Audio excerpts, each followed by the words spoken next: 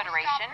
And, you know, when it comes to pumpkin carving, people take it pretty seriously. Speaking of which, one of our Twitter followers, our Nightbeat viewers, he carved us this very special Nightbeat pumpkin.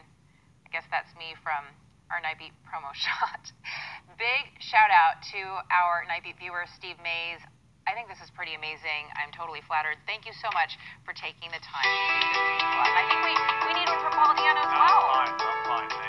I just to get. so somebody took the time to carve your face into a pumpkin. Well, I mean, well, it's, I mean, it's the Nightbeat pumpkin. It's The- not. It's the Nightbeat pumpkin, Ken. Yeah, uh, I- well, yeah, now, Ken now Ken wants Where's- one. All right, now, now Steve Mayes, on got to make one for side, Ken the part that's next. molding. That's Ken's face and mine. Congratulations, Veronica. Your No, face is on some no, dude's no, no, pumpkin no, in the Bay no. Area. Congratulations.